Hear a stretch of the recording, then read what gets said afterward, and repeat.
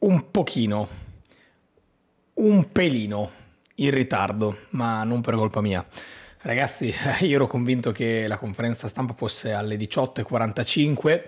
come aveva pubblicato anche la Juventus sui suoi social, e invece era alle 18.45 sì, ma dell'orario portoghese, quindi con eh, il fuso orario 19.45 italiane. Soltanto che io avevo allenamento a quell'ora e quindi sono appena uscito e recupero adesso. Quindi non faremo la solita analisi minuziosa della conferenza stampa parola per parola, ma cercheremo di racchiudere un attimino i commenti che sono stati secondo me più interessanti, le domande, le risposte più interessanti da parte di Alessandro e di Massimiliano Allegri, perché domani si va a giocare una partita, non è stato detto, ma era scontato, perché questa volta è veramente decisiva, nel senso che domani potrebbe esserci effettivamente l'eliminazione della Juventus dalla Champions League in maniera matematica. E devo dirvi la verità, nel caso non sono pronto. Mm, non sono pronto perché è un po' troppo presto e se negli ultimi anni eravamo abituati ad arrivare a meno gli ottavi, pensare che prima di Halloween potrebbe esserci la matematica uscita dalla Champions, beh, non mi va giù, devo dirvi la verità.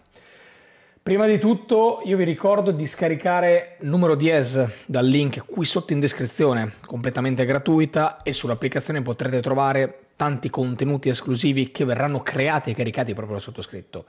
sotto il punto di vista dei video, quindi magari post partita come quello di Juventus Empoli, oppure articoli, alcuni articoli che sto scrivendo per guadagnare, per ottenere il patentino da giornalista. Quindi vi aspetto su numero 10.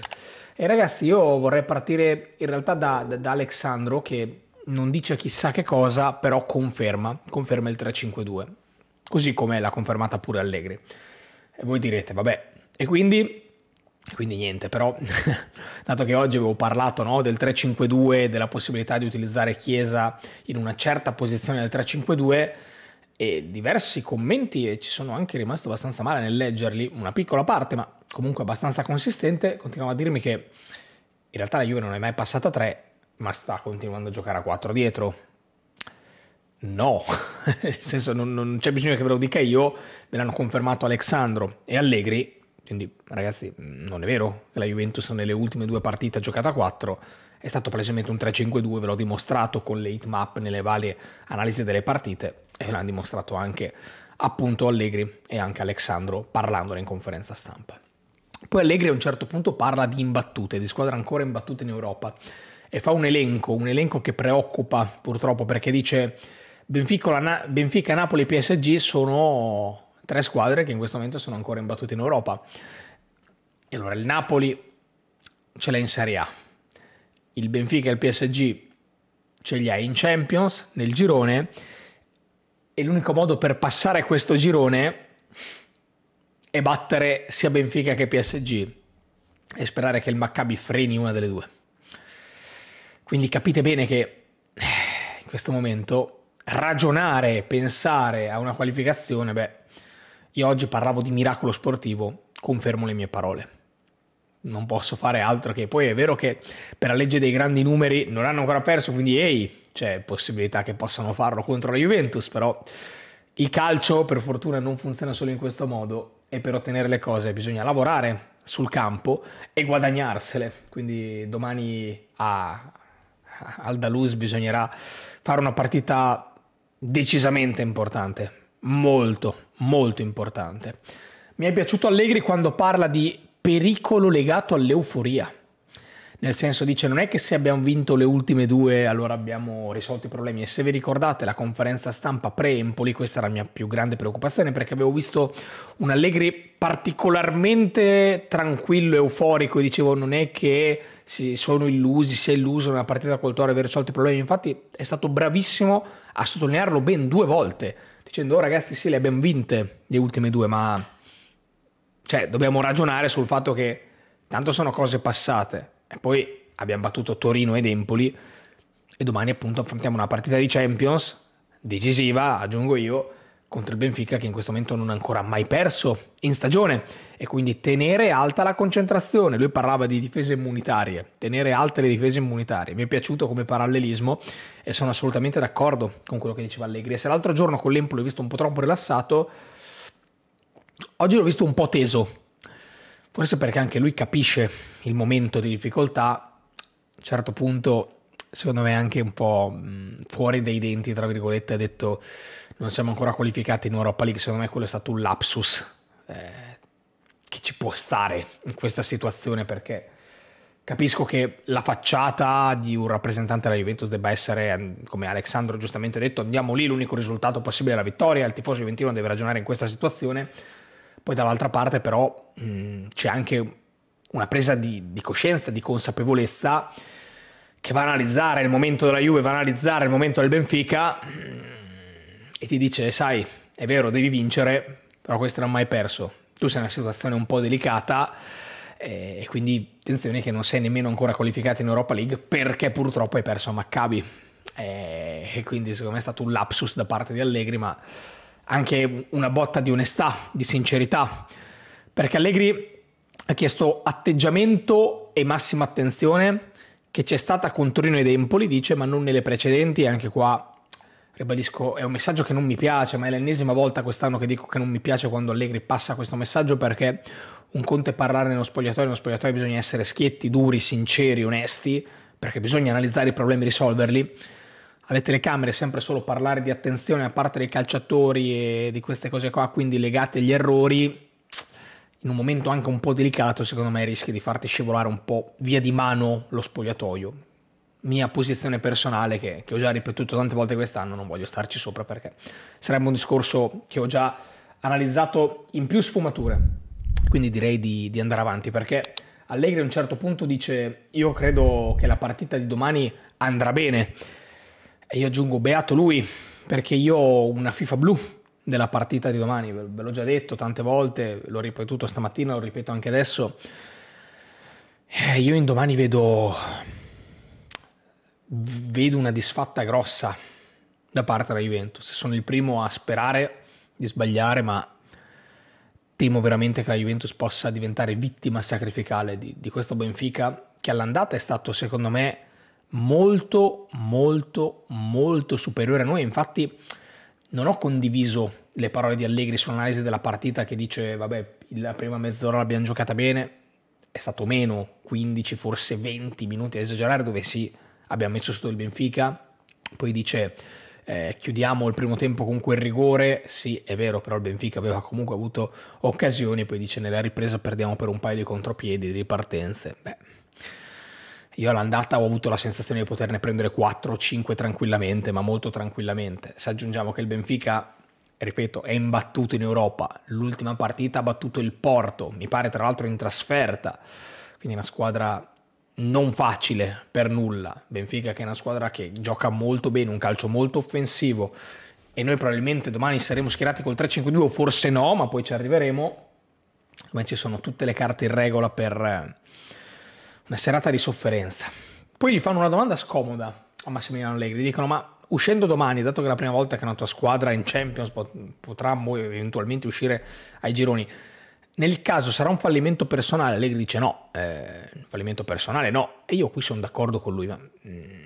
no, perché dovrebbe essere un fallimento personale solo di Massimiliano Allegri, o almeno può essere, lui può ritenere un fallimento personale, ma non solo di Massimiliano Allegri, perché Allegri ha tante colpe, le abbiamo già analizzate mille volte su questo canale in vari contenuti, ma mettersi lì a dire che il fallimento deve essere unicamente personale di Massimiliano Allegri, beh, non sono per niente d'accordo perché si vince la squadra, si perde la squadra. Allegri va le sue colpe, così come le Agnelli, così come hanno i calciatori, così come le hanno i dirigenti, quindi non può essere la sconfitta di Massimiliano Allegri nel caso domani. Poi è ovvio che nel calcio eh, l'allenatore è una figura che viene molto presa di mira, ma pensare che tutte le colpe possano essere soltanto di Allegri, secondo me è pura follia. E poi vorrei passare, dato che abbiamo parlato no, di, di sfatta, io, io, mi aspetto veramente domani l'uscita, l'eliminazione ufficiale matematica dalla Champions League, transfer market eh, dai numeri. E quindi ottavi di Champions League, le percentuali più basse di qualificazione per gli ottavi. Siviglia è la più bassa che ha 2.05%, poi c'è l'Ajax 2.85, Copenaghen 4.4, Bayern bla bla bla. Arriviamo a Maccabi 9.93, Juventus 11.73. Ora la domanda che vi faccio io è, secondo voi 11.73 è una percentuale onesta, alta o bassa per la Juventus? Perché io prima, prima di Maccabi Juve e quindi dopo Juve Maccabi, tra l'andata e il ritorno, avevo detto eliminati al 90%, il che significa che prima di perdere col Maccabi per me c'era il 10% di possibilità di essere eliminati. Dopo la sconfitta col Maccabi, quindi, secondo me la percentuale di qualificazione della Juventus si abbassa. Ragioniamo sul, sull'ordine del 10% invece che quasi il 12%, il che significa una possibilità su 10. Secondo me oggi la Juventus per qualificarsi ha circa una possibilità su 20. Quindi per quanto mi riguarda, alla vigilia di Benfica-Juventus, la Juventus ha il 5% di possibilità e forse anche qualcosina di meno di qualificarsi agli ottavi. Secondo me 11.73 è una percentuale molto molto alta per quella che è la situazione attuale della Juventus e voglio sapere anche la vostra opinione qui sotto nei commenti in maniera matematica, quindi secca, precisa, io vi dico 5% se non meno. E poi andiamo a parlare di quella che potrebbe essere la probabile formazione perché eh, oggi i giornalisti hanno pubblicato questa, come vi dicevo, conferma del 352 come hanno detto Allegri e Alessandro, però a un certo punto Allegri dice mm, sì, però domani il 352 potrebbe essere un po' diverso, potrebbe essere uno schieramento un po' diverso. E qui allora mi viene a dire in che senso? Eh, queste sono le, le classiche scelte degli allenatori Semino Allegri ci ha sempre stupito, tra l'altro, la vicenda di una partita importante e decisiva con qualche colpa d'effetto, quindi non azzardo nemmeno eventualmente eh, qualche cambio eh, né di modulo né di disposizione né di giocatori, però io adesso oggi guardo questa squadra, no? Scesni, Alessandro Bonucci, Danilo, Kostic, Rabiot, Locatelli, McKenny, Quadrado, Vlaovic e Milik e penso è la squadra dell'anno scorso, 9 undicesimi di giocatori che c'era l'anno scorso perché i nuovi sono soltanto Kostic e Milik e basta, ma senza Dybala, senza Delit, senza Chiellini, senza Morata, vogliamo aggiungerci Bernardeschi, perché se vado a ragionare invece sulla campagna acquisti effettiva di quest'estate, Paredes è indisponibile, Pogba è indisponibile, Di Maria è indisponibile, Bremer è indisponibile, quindi capite bene che la squadra dell'anno scorso, tolti il capocannoniere dell'anno scorso che è Di Bala, il vice capocannoniere dell'anno scorso che è Morata, il capitano dell'anno scorso che era Chiellini, il difensore migliore dell'anno scorso che era D'Elite, senza possibilità di rimpiazzarli, con Chiesa che è il giocatore migliore secondo me de- della rosa iniziale dello scorso anno in prospettiva che è ancora fuori, senza gli acquisti grossi di quest'estate, con soltanto Milik che eh, ha questo affaticamento che si porta dietro un po' e Kostic che comunque in questo momento secondo me sta facendo una buona parte del campionato ma una formazione, eh, secondo me, che si porta dietro tanti limiti contro una squadra che in questo momento in Europa non ha ancora mai perso, in trasferta, dove non vinciamo praticamente lontani da Torino da aprile l'anno scorso, perché ovviamente il derby l'abbiamo vinto a Torino ed è l'unica trasferta che abbiamo vinto. Quindi io se metto insieme tutte queste cose e ragionando anche sul valore assoluto dello scontro diretto visto a Torino qualche settimana fa, sono molto negativo. Sono molto negativo ed è inutile girarci intorno. Poi, pallone tondo, il calcio è bello perché ci sono dei momenti inaspettati,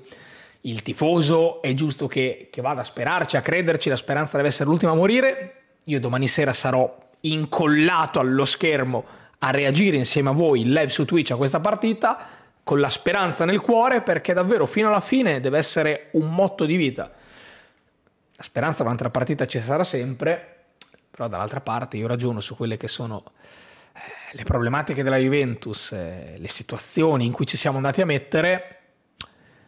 e ora come ora vi dico, se arriviamo in Europa League probabilmente abbiamo fatto il nostro, perché passare il girone in questo momento mi sembra sinceramente complicato per eh, il casino nel quale ci siamo messi. Ma voglio sapere anche un po' le vostre sensazioni qui sotto nei commenti. Spero che ci sia una percentuale invece di tifosi decisamente più positivi rispetto a me. E vorrei leggere anche i vostri commenti per cercare di trovare una motivazione, una speranza qui sotto nei commenti.